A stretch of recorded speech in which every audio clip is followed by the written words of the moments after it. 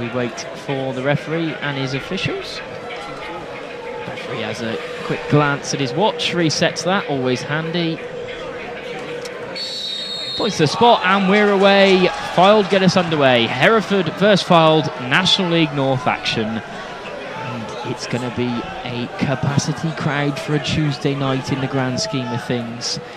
With it's going to be Horton who's going to stand over it alongside Tom Walker. Looks like Horton to take. Horton up and over the wall. Hits, and it comes straight off the post by the looks. Davis is allowed to bring it up all the way to the halfway line. And some more as he feeds it out towards that left hand side where uh, Tom Walker will come in. And then Horton hits one from distance. And it's just past the post. Well, he's by quite a bit. They leave out towards Owen Pendley.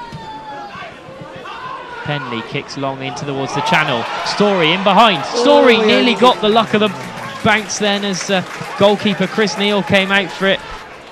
Looks for Pinchard, but it's snuffed out. Barnett loses the uh, header from the clearance. Holmes slides in to try and win it back, and Fylde can come away with it. Barnett will put a bit of pressure on. Barnett wins the ball, and that's got to be a penalty from sending off. absolutely nothing. It's got to be.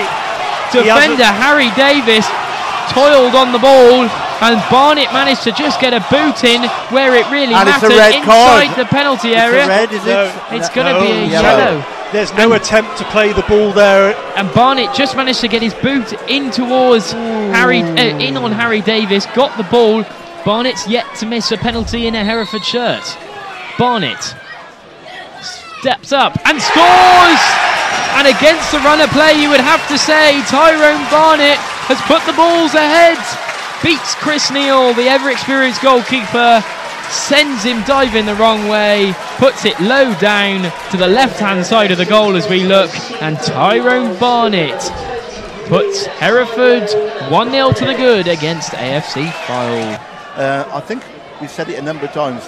When Leicester City won the Premier League a few years ago, As a shot comes in from distance, and it's just past Daly's post. on average possession away from home was 27%, and they won the Premier League on that. Good defending by Pinchards, forced him back in front of uh, manager Josh Gowling. He's been very vocal so far this evening. He's really not happy with something. I think it's to do with the way Hereford are pressing and kind of their actual shape tonight.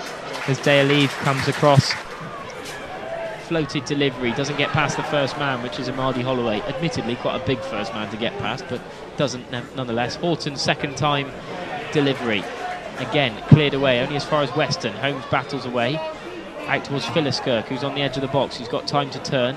Back out towards Horton. Horton will have a third chance at crossing it in, but Dale comes and gathers well, doesn't drop it. As Pinchard comes away with it, crossed in, and it just doesn't quite reach Barnett. And then Barnett slides in to try and win it back. He did win it back, but a foul player was able to clear as uh, Fylde neatly play it through the referee's legs and spread it out towards the right hand side. It's going to be crossed in, and then it's flicked on by the striker, but uh, Haynes is able to get hold of it and then plays it back across to Story. Story's ball forward is snuffed out, and Fylde come away with it instead. In towards the penalty area they come.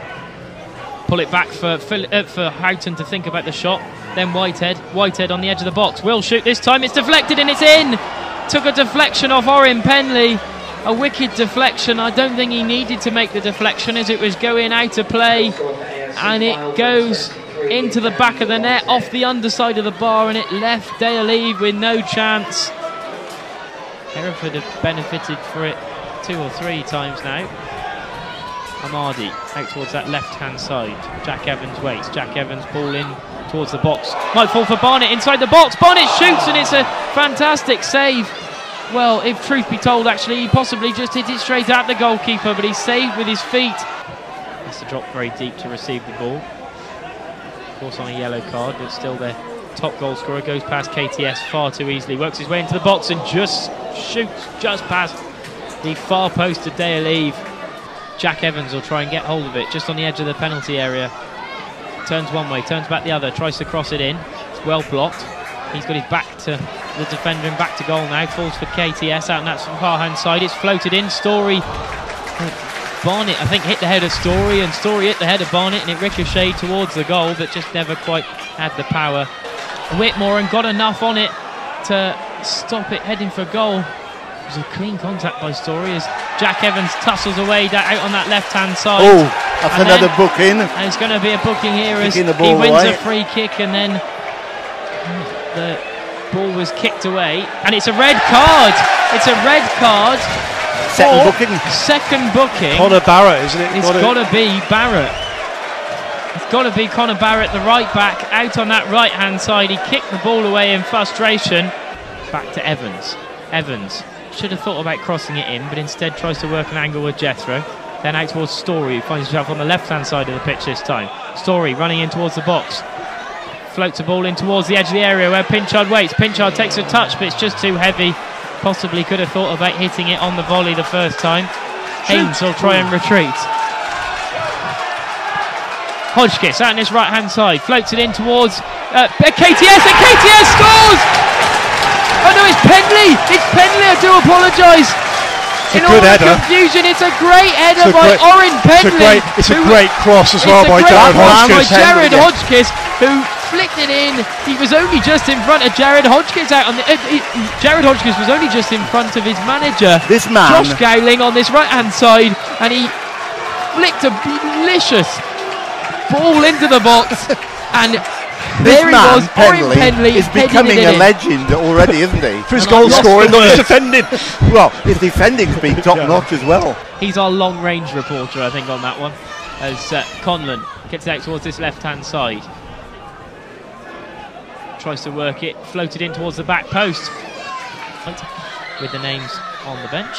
It's going to be a drilled call, uh, drilled free kick in, in towards Story. Story couldn't quite get there. Falls for James Caton inside the box, back to goal. Back out towards Pinchard. Pinchard to Caton. Caton on the edge of the area. Thinks about the shot. Does shoot. It's in towards the near post. A comfortable height for the goalkeeper. But the shot was definitely, I think, the right idea. It opened up for Caton.